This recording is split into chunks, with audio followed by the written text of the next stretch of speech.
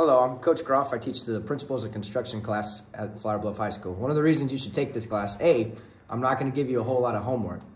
And B, the goal is every day while we're in class, we're going to work on something that helps you acquire life skills that you can take with you outside of high school and go be productive and make money as soon as you get out of high school.